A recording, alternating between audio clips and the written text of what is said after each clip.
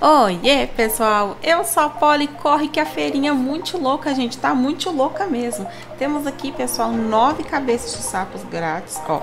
Essas aqui são de Robux, mas essas aqui estão todas grátis.